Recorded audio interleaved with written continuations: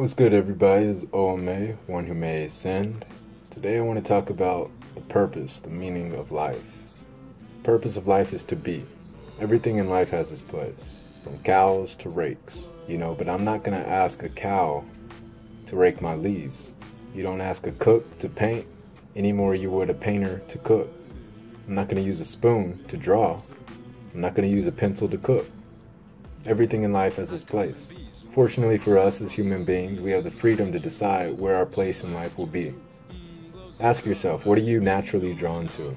What will your legacy in life be? What will you be remembered for? What do you represent? What do you stand for? What are you willing to die for?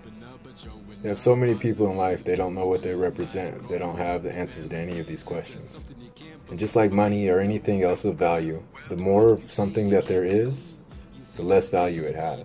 Once you're able to answer all these questions, you'll add more value to your life as well as the lives of others. I know my purpose in life is to be one who may ascend, and you can expect me to do so. If you're one who may ascend as well, feel free to like, comment, share, subscribe to this video. Do whatever you do, but whatever you do, do you. It's what you do best. Furthermore, it's outside of your nature to do anything else. We are human beings. The purpose of life is in the name itself. Human beings. Be human.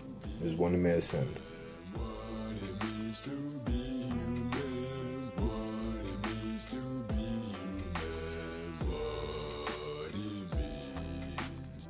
What it means to be human. What it means to be human. What it means to be human. What it means.